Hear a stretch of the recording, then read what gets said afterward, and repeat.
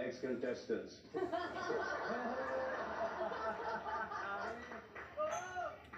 वैसे इनका साथ देंगे इस घर के चार और सदस्य जो यहाँ तक के आए हैं